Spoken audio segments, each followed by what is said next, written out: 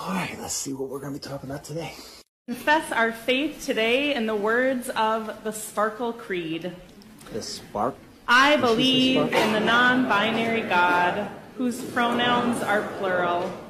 I believe in Jesus Christ, their child, who wore a fabulous tunic and had two dads, and saw everyone as a sibling child of God. I believe in the rainbow spirit who shatters our image of one white light and refracts it into a rainbow of gorgeous diversity.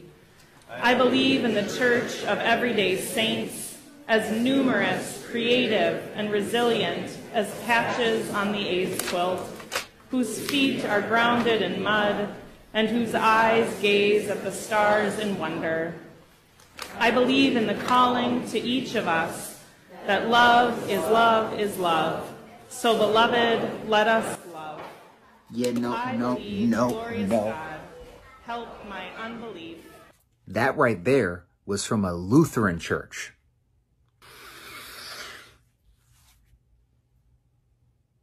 I'm not going to let my flesh win, so I'm just going to say no. Go in peace.